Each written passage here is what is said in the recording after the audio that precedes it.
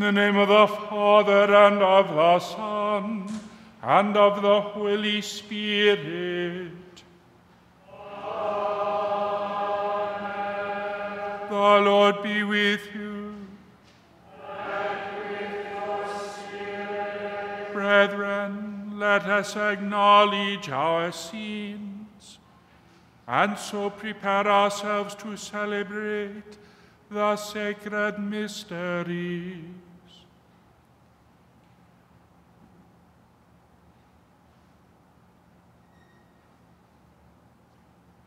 I confess. And to you, my brothers and sisters, that I have greatly sinned in my thoughts and in my words, in what I have done and in what I have failed to do, through my fault, through my fault, through my most grievous fault. Therefore I ask Blessed Mary, ever Virgin, all the angels and saints, and you, my brothers and sisters, to pray for me to the Lord our God. May Almighty God have mercy on us, forgive us our sins, and bring us to everlasting life.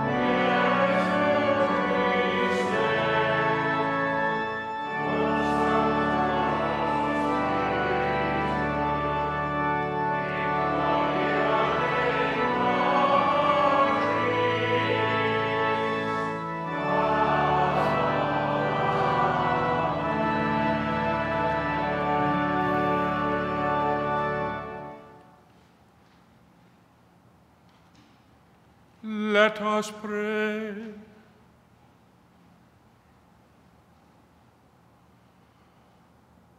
O God, who teach us that you abide in hearts that are just and true, grant that we may be so fashioned by your grace as to become a dwelling pleasing to you through our Lord Jesus Christ, your Son, who lives and reigns with you in the unity of the Holy Spirit, God forever and ever.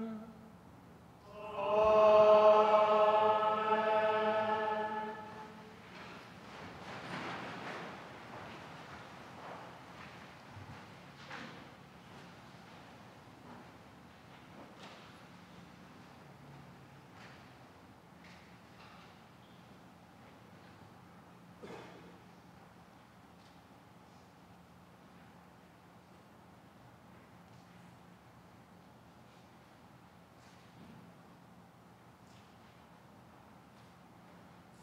Reading from the book of Leviticus. The Lord said to Moses and Aaron, If someone has on his skin a scab or pustule or blotch, which appears to be the sore of leprosy, he shall be brought to Aaron, the priest, or to one of the priests among his descendants. If the man is leprous and unclean, the priest shall declare him unclean by reason of the sore on his head. The one who bears the sore of leprosy shall keep his garments rent and his head bare, and shall muffle his beard. He shall cry out, Unclean, unclean. As long as the sore is on him, he shall declare himself unclean since in fact he is unclean. He shall dwell apart, making his abode outside the camp. The word of the Lord. Thanks be to God.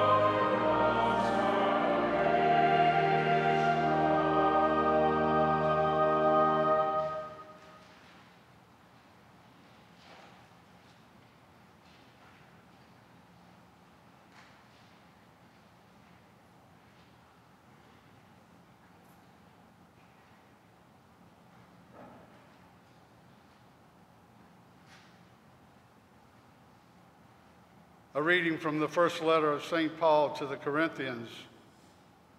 Brothers and sisters, whether you eat or drink, or whatever you do, do everything for the glory of God. Avoid giving offense, whether to the Jews or Greeks or the church of God, just as I try to please everyone in every way, not seeking my own benefit, but that of the many, that they may be saved. Be imitators of me as I am of Christ. The word of the Lord. Thanks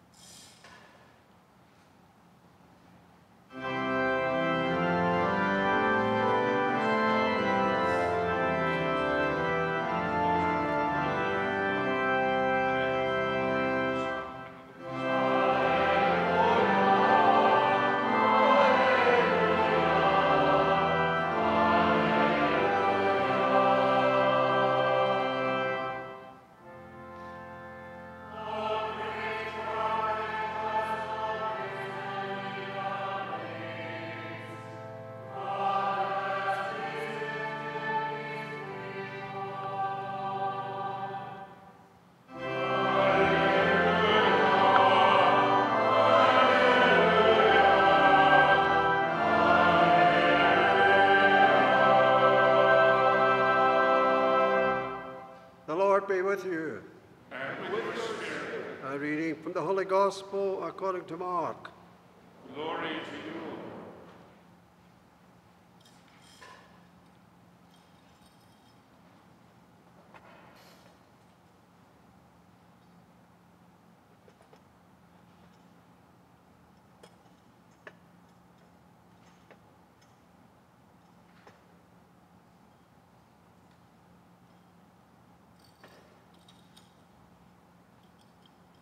leper came to Jesus and kneeling down begged him and said, If you wish, you can make me clean.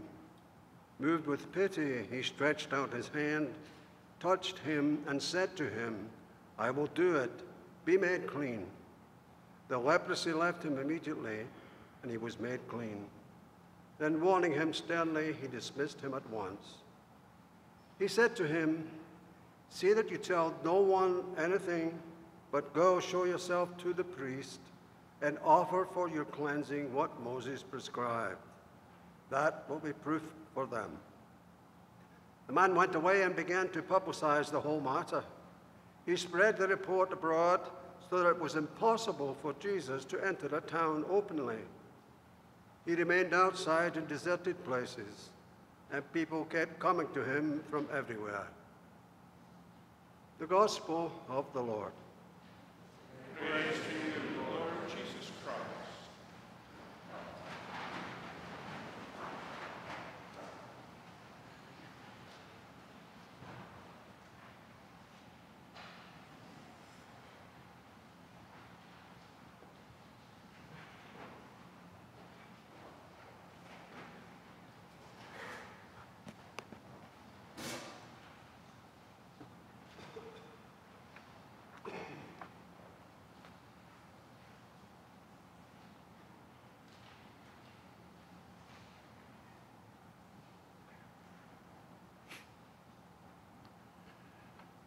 Confronted by a contagious disease with frightful consequences, an entire people protect themselves from illness by social distancing, by isolating the infected, by mandating special clothing, including masks or muffles, and by shaming those who will not cooperate with this approach to public health.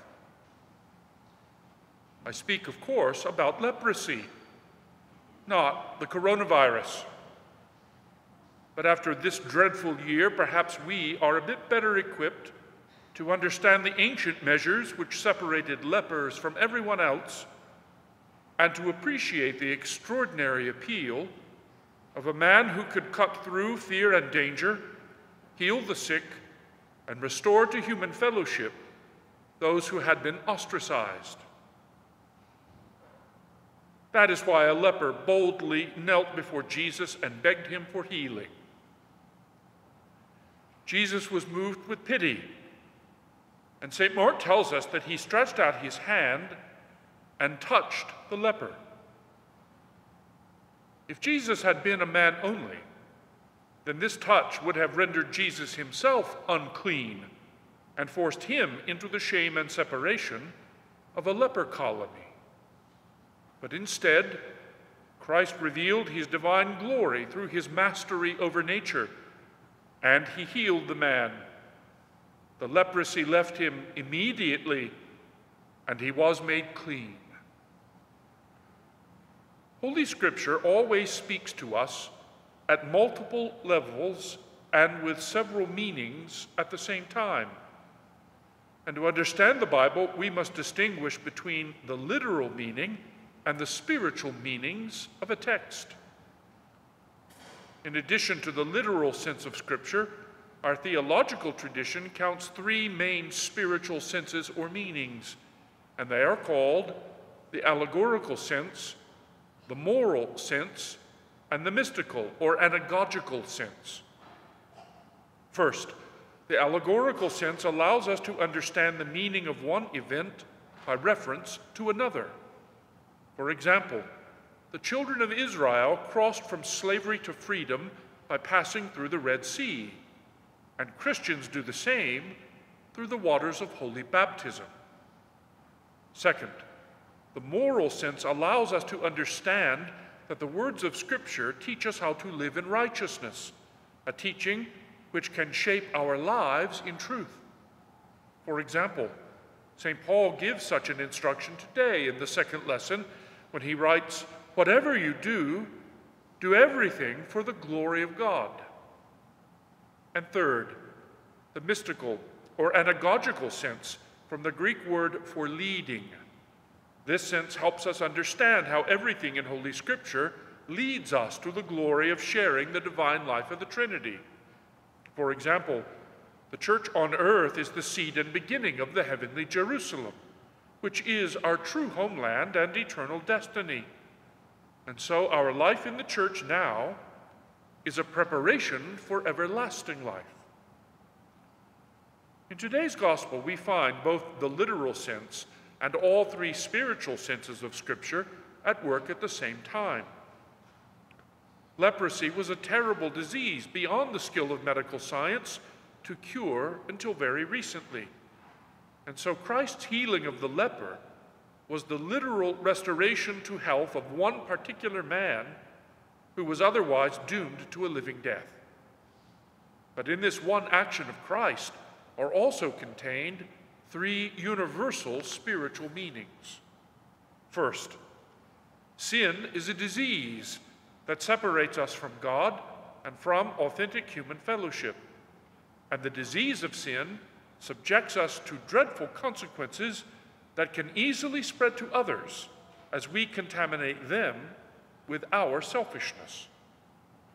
Second, only Christ can cure us from the sickness of sin, and so we must turn to Him with faith, hope, and love to be made clean. But this requires of us that we first acknowledge that in our sins we are unclean no sin is forgiven, even by God, until it is acknowledged and confessed to be a sin. Third, if we acknowledge our sins and turn to the Lord for mercy, then we are cleansed and restored to fellowship with God, with all others, and with our own true selves. In this way, we are being prepared by God both to join the communion of the saints in glory on the last day and to announce the gospel of salvation now. And that is why the psalmist sings, I acknowledge my sin to you, my guilt I covered not. I said, I confess my faults to the Lord, and you took away the guilt of my sin. Be glad in the Lord and rejoice, you just. Exult, all you upright of heart. My friends, let us be mindful of these four meanings of Scripture as we begin this Wednesday our annual journey to Jerusalem, the 40 days of penance and prayer during which we are called to examine our lives in the light of gospel truth to confess our sins and be forgiven, and to be conformed ever more perfectly by grace through faith to the life, death, and resurrection of the Lord Jesus Christ.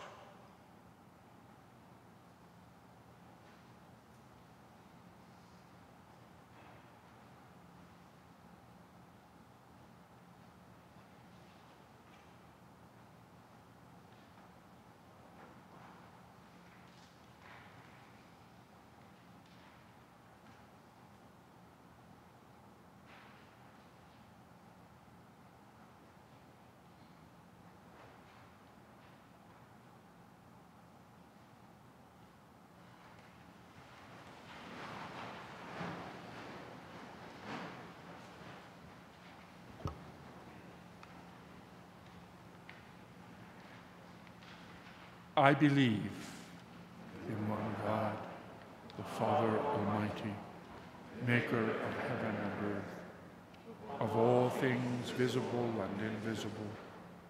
I believe in one Lord, Jesus Christ, the only begotten Son of God, born of the Father before all ages, God from God, light from light, true God from true God, begotten, not made, consubstantial with the Father. Through him all things were made. For us men and for our salvation, he came down from heaven, and by the Holy Spirit was incarnate of the Virgin Mary and became man. For our sake he was crucified under Pontius Pilate. He suffered death and was buried and rose again on the third day in accordance with the Scriptures. He ascended into heaven and is seated at the right hand of the Father. He will come again in glory to judge the living and the dead, and his kingdom will have no end. I believe in the Holy Spirit, the Lord, the giver of life, who proceeds from the Father and the Son who with the Father and the Son is adored and glorified, who has spoken through the prophets. I believe in one holy Catholic and Apostolic Church. I confess one baptism for the forgiveness of sins, and I look forward to the resurrection of the dead and the life of the world to come. Amen. Let us turn to the Lord with faith and pray for all our needs. For all bishops, priests, and deacons, that with the deep conviction of their own conversion, they will proclaim the gospel in season and out. Christ, hear us. Christ, graciously hear us. For all the baptized, that they may be instruments of grace for others and witnesses to the truth of the gospel. Christ, hear us. Christ, graciously hear us. For Christians around the world, who are persecuted for their faith in the Lord Jesus, that they may be sustained by God's grace and the support of Christians everywhere. Christ, hear us. Christ, graciously hear us. For peace in our hearts and peace among nations, that wars may cease and all may serve the common good. Christ, hear us. Christ, graciously hear us. And for all the dead, that they may see the face of God and live. Christ, hear us. Christ, graciously hear us. Heavenly Father, you desire that none should be lost and all should be saved. Strengthen us in holiness by word and sacrament, that we may lead all we meet to saving faith in our Lord Jesus Christ, your Son, who lives and reigns with you in the unity of the Holy Spirit, God forever and ever.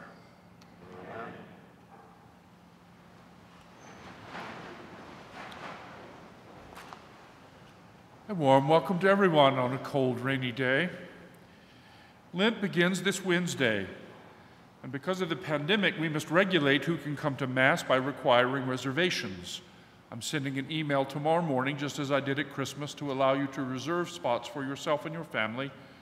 But please don't come if you don't have a reservation. We must also modify the way of distributing ashes as described in my bulletin column today. So please read that column carefully to be ready for Wednesday. We are in need of at least two volunteers who regularly attend the 11 o'clock Mass to distribute Holy Communion in Gallivan Hall. So if you are here this morning in the church or in the hall and are willing to serve, please send me an email. If I don't get a couple of volunteers, I will have to walk down the center aisle and dragoon someone by laying hands on him. So send me a note. On each Friday of Lent, we will walk the way of the cross at 6 p.m., but we will not be offering supper after the stations this year. And on each Sunday of Lent, we will sing Vespers at 5 p.m. If this year is on your last nerve, the remedy for you is Vespers each Sunday of Lent.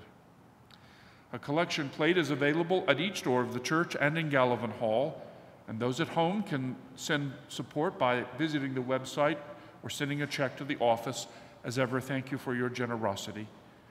Finally, offer to God a sacrifice of thanksgiving and make good your vows to the Most High.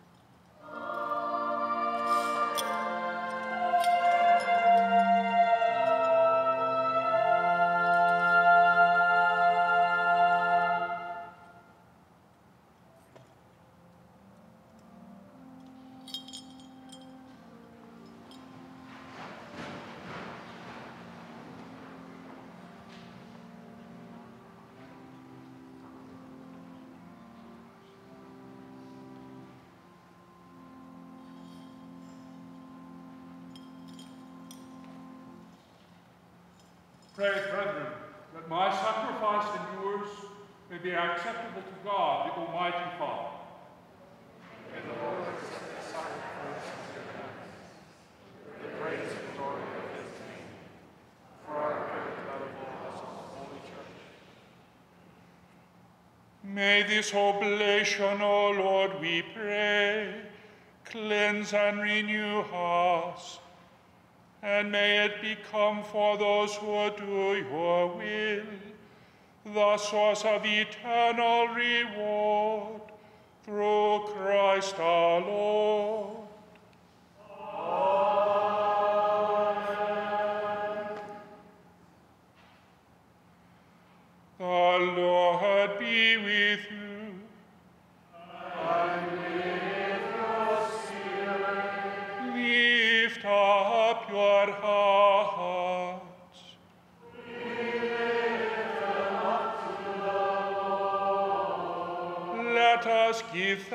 To the Lord our God. It is right and just.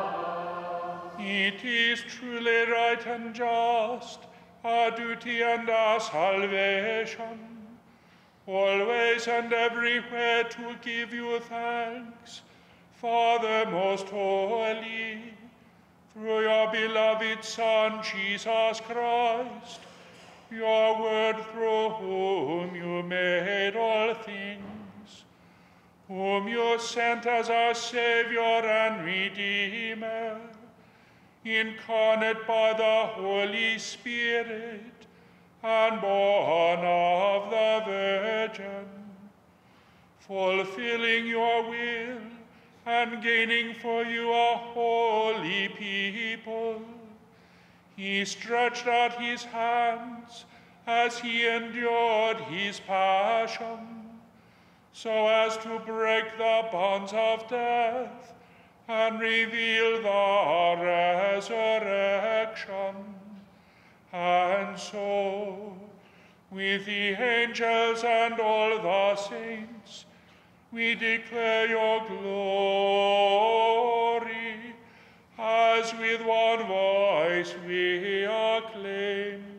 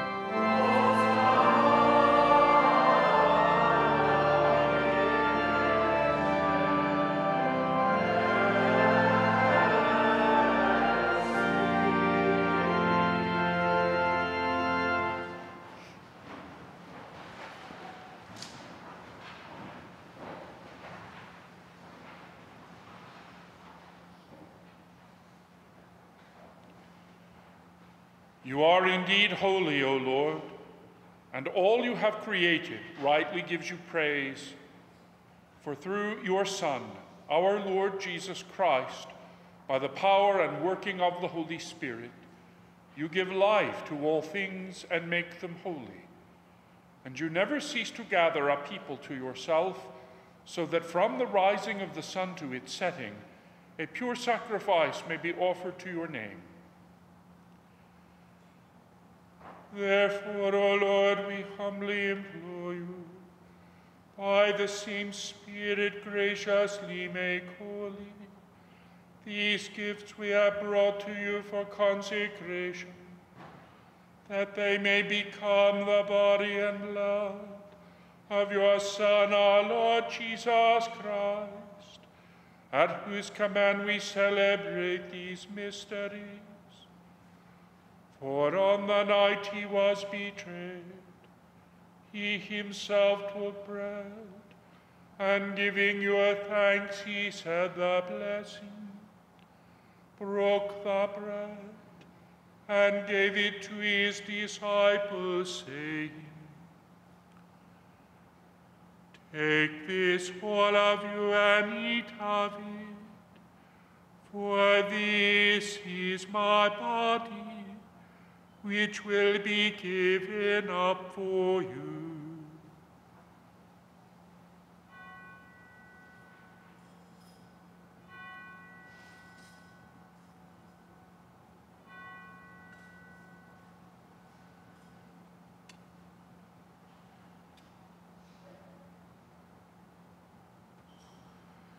In similar way, when supper was ended, he took the chalice, and giving you thanks, he said the blessing, and gave the chalice to his disciples, saying, Take this, all of you, and drink from it, for this is the chalice of my blood the blood of the new and eternal covenant, which will be poured out for you and for many for the forgiveness of sins. Do this in memory of me.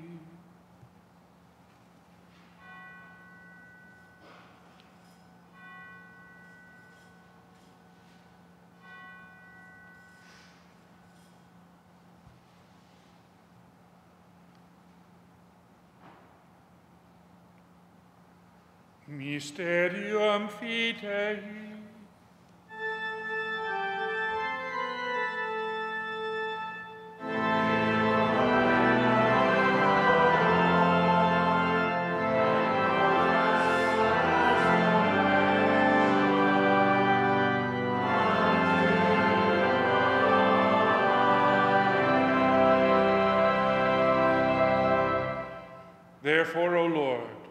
As we celebrate the memorial of the saving passion of your Son, his wondrous resurrection and ascension into heaven, and as we look forward to his second coming, we offer you in thanksgiving this holy and living sacrifice. Look, we pray, upon the oblation of your church, and recognizing the sacrificial victim by whose death you willed to reconcile us to yourself Grant that we, who are nourished by the body and blood of your Son, and filled with his Holy Spirit, may become one body, one spirit in Christ.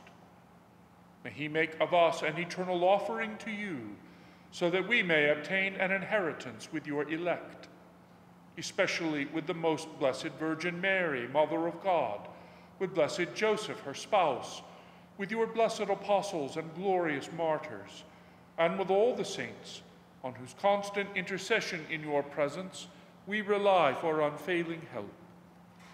May this sacrifice of our reconciliation, we pray, O Lord, advance the peace and salvation of all the world. Be pleased to confirm in faith and charity your pilgrim church on earth, with your servant Francis our Pope and Robert our Bishop, the order of bishops, all the clergy, and the entire people you have gained for your own. Listen graciously to the prayers of this family whom you have summoned before you.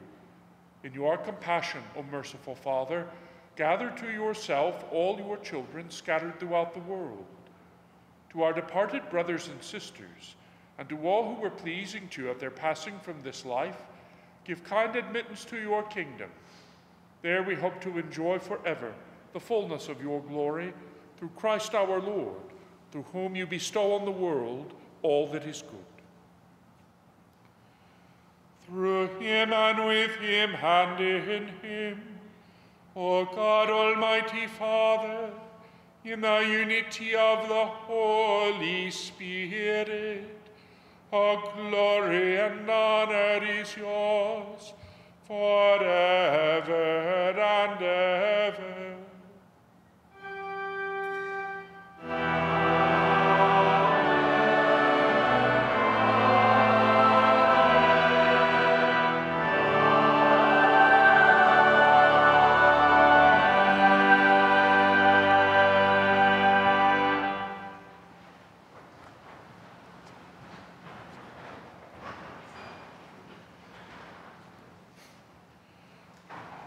At the Saviour's command and formed by divine teaching, we dare to say, Our Father,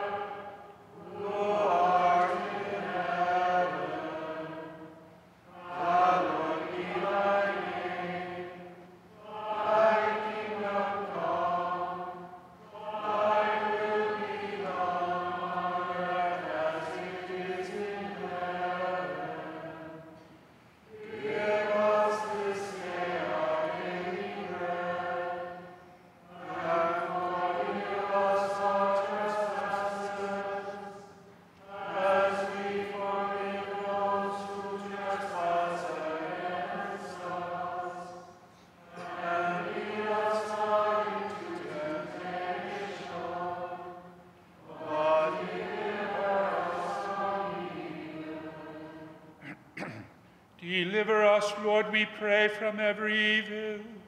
Graciously grant peace in our days, that by the help of your mercy we may be always free from sin and safe from all distress, as we await the blessed hope and the coming of our Saviour Jesus Christ.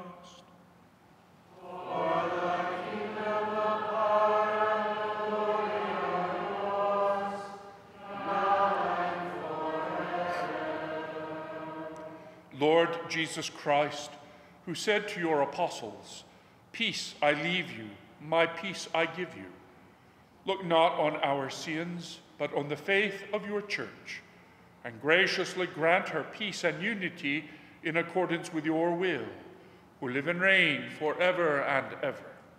Amen. Peace of the Lord be with you always.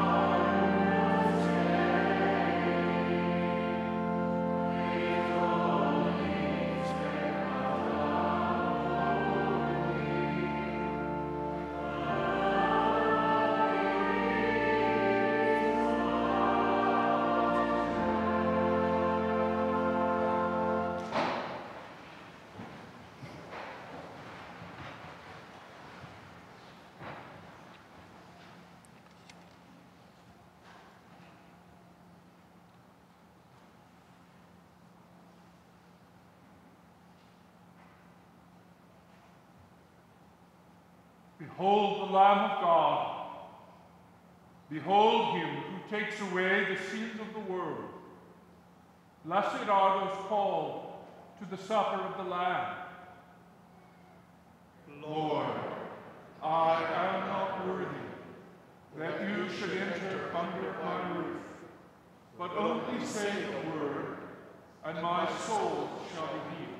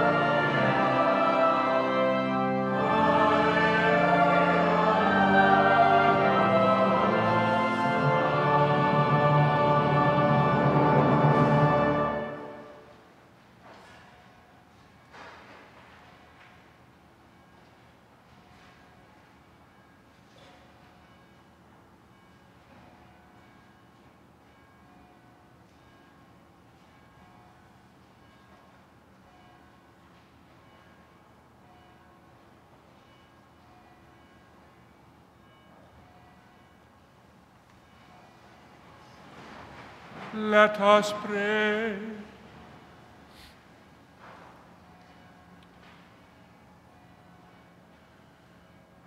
Having fed upon these heavenly delights, we pray, O Lord, that we may always long for that food by which we truly live through Christ our Lord.